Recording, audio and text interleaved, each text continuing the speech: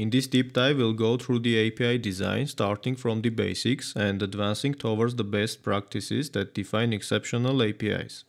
As a developer, you're likely familiar with many of these concepts, but I'll provide a detailed explanation to deepen your understanding. Let's consider an API for an e-commerce platform like Shopify, which if you're not familiar with, is a well-known e-commerce platform that allows businesses to set up online stores. In API design, we are concerned with defining the inputs, like product details for a new product, which is provided by a seller, and the outputs, like the information returned when someone queries a product of an API.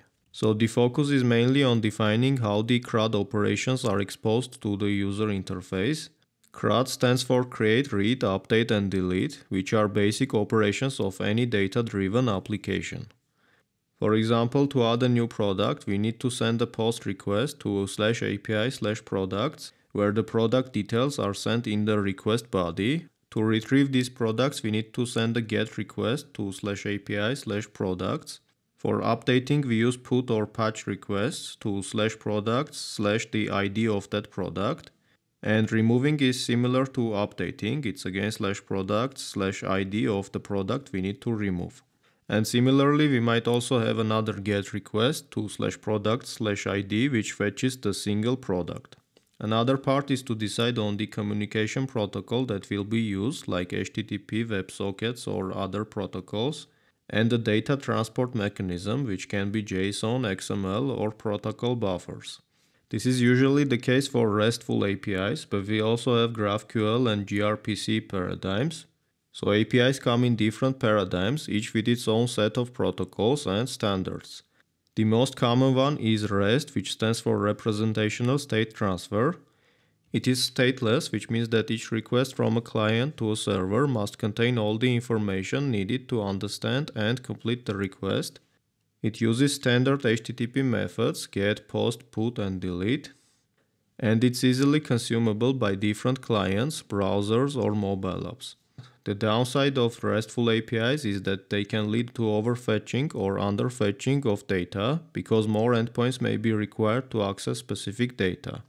And usually RESTful APIs use JSON for data exchange. On the other hand, GraphQL APIs allow clients to request exactly what they need, avoiding overfetching and underfetching data. They have strongly typed queries, but complex queries can impact server performance, and all the requests are sent as post requests. And GraphQL API typically responds with HTTP 200 status code, even in case of errors, with error details in the response body. gRPC stands for Google Remote Procedure Call, which is built on HTTP 2, which provides advanced features like multiplexing and server push. It uses protocol buffers, which is a way of serializing structured data, and because of that it's efficient in terms of bandwidth and resources, especially suitable for microservices. The downside is that it's less human readable compared to JSON and it requires HTTP2 support to operate. In an e-commerce setting, you might have relationships like user to orders or orders to products, and you need to design endpoints to reflect these relationships, for example, to fetch the orders for a specific user, you need to query to get slash users slash the user ID slash orders. Common queries also include limit and offset for pagination or start and end date for filtering products within a certain date range. This allows users or the client to retrieve specific sets of data without overwhelming the system. A well-designed GET request should be idempotent, meaning calling it multiple times doesn't change the result and it should always return the same result. And GET requests should never mutate data, they are meant only for retrieval. If you need to update or create a data, you need to do a put or post request.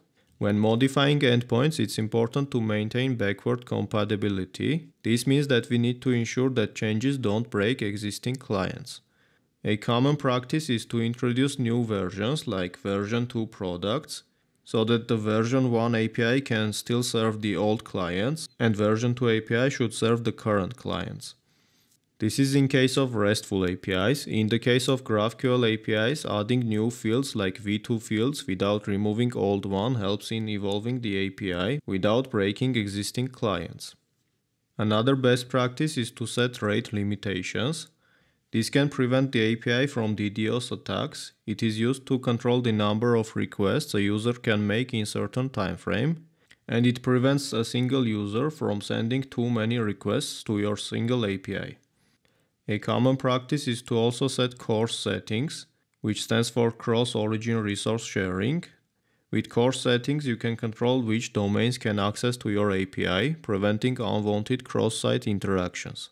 API design is just one part of system design interview. If you'd like to learn more about the other concepts, I recommend you check out these system design concepts next.